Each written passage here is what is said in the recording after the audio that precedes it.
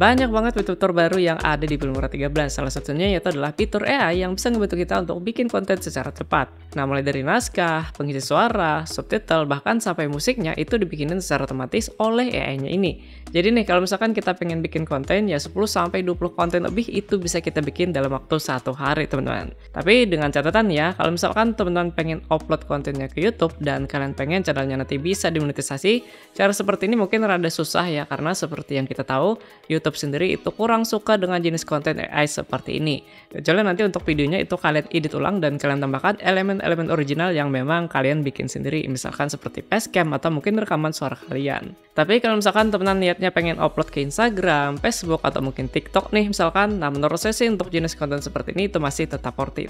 Nah sekarang cara pakainya gimana? Caranya itu gampang banget teman-teman. Uh, pertama tentu saja teman-teman mesti update dulu Filmora kalian ke versi terbaru, linknya ada di deskripsi. Nah, kalau misalkan sudah, sekarang untuk cara pakainya ini gampang banget ya. Jadi nanti di bagian welcome screen ya, atau tampilan awal dari Filmora, itu teman-teman pilih yang AI text to video. Nah, selanjutnya, uh, kalau misalkan teman-teman sudah punya naskah videonya, itu nanti bisa kita masukin di bagian sini, teman-teman. Cuman kalau misalkan teman-teman belum punya naskahnya, kita juga bisa minta bantuan AI-nya untuk ini naskahnya ini. Nah, caranya itu gampang banget. Pertama sih kita setting dulu lah ya untuk bahasanya. Kita sesuaikan misalkan bahasa Indonesia. Nah, untuk pengisi suaranya di sini ada dua ya untuk Indonesia, laki-laki dan perempuan. Kalau misalkan sudah, sekarang kita pilih yang generated by AI yang di pojokan kanan atas. Nah, kita tentuin nih uh, jenis topiknya seperti apa. Contoh kita pilih yang informasi dan kita jelasin nih kira-kira kita minta dibikinin uh, naskah yang seperti apa. Kalau misalkan sudah, sekarang kita klik generate text yang di pojokan kanan bawah. Nah, maka sekarang di sini AI-nya itu sedang ngeproses naskah untuk video kita tadi. Nah, contohnya seperti ini ya. Kalau misalkan teman-teman merasa uh, untuk naskahnya sudah pas, langsung aja kita pilih yang text to video. Nah, kalau misalkan sudah, di sini kita bisa lihat konten kita sudah tersusun rapi secara otomatis seperti ini teman-teman. Jadi nanti mulai dari pengisi suara ya, kita coba dengerin dulu. Kucing adalah hewan yang penuh dengan fakta unik. Pertama, mereka Oke, untuk pengisi suaranya kurang lebih seperti itu. Habis itu di sini ada juga subtitle nih. Nah, jadi subtitlenya juga sudah tertambah otomatis. Dan yang paling saya suka di sini untuk background musiknya pun sudah ditambahkan otomatis oleh AI-nya tadi, teman-teman. Ya, terus juga di sini ada beberapa contoh gambar ya. Sebenarnya nanti untuk gambarnya ini bakalan kita ganti. Nah, jadi tugas kita selanjutnya yaitu adalah kita akan ganti gambar yang ada di bagian sini dengan footage video ataupun gambar yang kita miliki. Nah, biar lebih gampang nih buat dapatin footage videonya, kita juga bisa gunakan fitur yang ada di Filmora, namanya adalah stock media. Nah, caranya itu kita bisa masuk ke menu stock media. Terus uh, di sini kita buka yang bagian partners, teman-teman. Nah, di sini ada beberapa platform stock media yang kita bisa gunakan. Nah, untuk uh, video kali ini kita akan pakai Pixel aja ya, karena ini adalah salah satu penyedia footage video dan gambar gratis yang paling sering saya pakai gitu, teman-teman.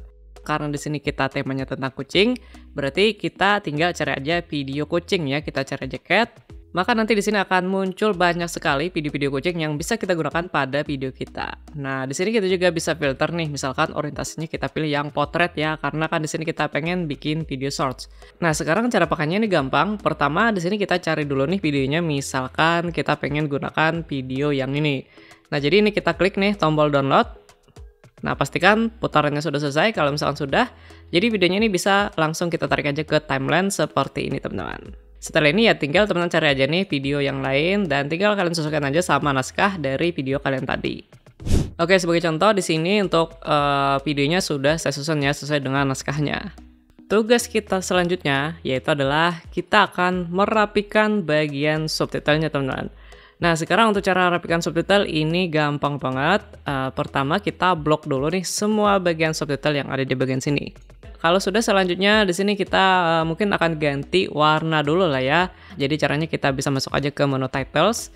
Nah, jadi di bagian sini kita bisa pilih uh, pertama sih jenis font ya. Kalau misalkan teman-teman pengen ganti fontnya. Nah, selanjutnya kalau misalkan teman-teman pengen ganti warna juga bisa atur aja di bagian sini. Atau di sini juga uh, kita bisa pakai uh, beberapa contoh tema bawaan subtitle yang ada di Filmoranya teman-teman. Uh, di sini kita juga bisa atur posisi dari subtitlenya ya. Caranya uh, kita masuk ke bagian multiple dan di sini kita bisa atur seperti kayak ukuran. Habis itu posisinya juga bisa kita atur nih, mau kita naikin atau kita turunin. Nah, sebagai contoh kita taruh kira-kira di bagian sini aja. Nah, selanjutnya di sini kita juga bisa tambahkan ya uh, animasi pada subtitlenya ini. Uh, jadi caranya kita balik lagi ke menu titles dan di sini kita pilih yang animation. Nah, jadi di bagian sini yang animasi in, nah ini adalah animasi ketika subtitlenya muncul. Nah, tinggal kita pilih mau gerakannya yang seperti apa. Uh, sebagai contoh ini kayak gini aja, sekarang kita akan coba cek dulu.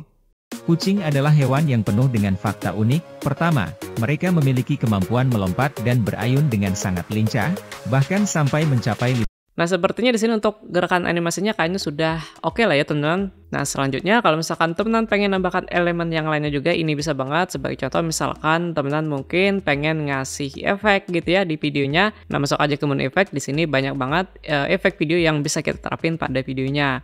Terus kalau misalkan teman-teman pengen nambahin stiker juga ya, ini juga bisa banget. Nanti masuk aja ke menu stiker. Nah, tinggal cari aja nih stiker apa yang pengen kita masukin. Contoh misalkan kita pengen ngasih ada uh, stiker kucing misalkan. Nah seperti ini, nah ini juga bisa banget. Ya tinggal kita download dan tinggal kita masukin di videonya. Misalkan kita taruh di bagian sini. Dan terakhir ya tinggal kita export aja ya. Caranya klik aja export. Nah selanjutnya di sini ya tinggal kita taruh aja. Ya pertama kita kasih nama dulu untuk file videonya. Terus kita bisa tentuin di mana nanti kita pengen nyimpan dan ya setelah itu beberapa settingan yang lainnya tinggal teman-teman sesuaikan aja.